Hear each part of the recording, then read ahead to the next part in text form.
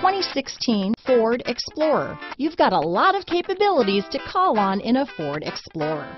Don't underestimate your choices.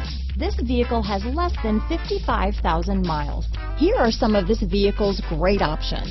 Traction control, power passenger seat, power liftgate, navigation system, dual airbags, leather wrapped steering wheel, power steering, alloy wheels, four-wheel disc brakes, universal garage door opener, rear window defroster, CD player, trip computer, electronic stability control, security system, compass, fog lights, power windows, heated steering wheel. Take this vehicle for a spin and see why so many shoppers are now proud owners.